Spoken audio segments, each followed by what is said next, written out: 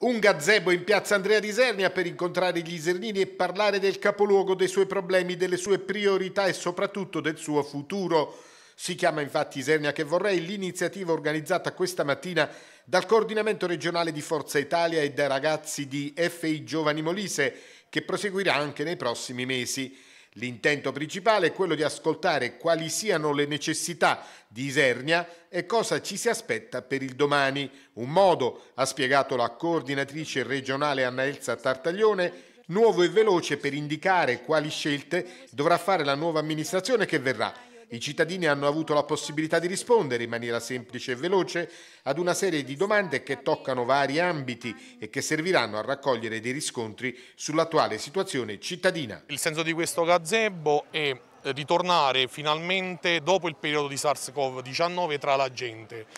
Forza Italia è partita così già nel 94 con il presidente Berlusconi per la gente e tra la gente, allora ci sembrava giusto dopo questo periodo di fermo obbligato ritornare tra la gente,